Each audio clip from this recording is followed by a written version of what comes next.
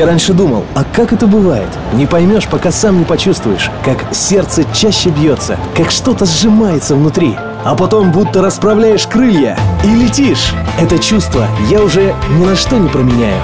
Ведь я люблю тебя. Любовь сильнее наркотиков.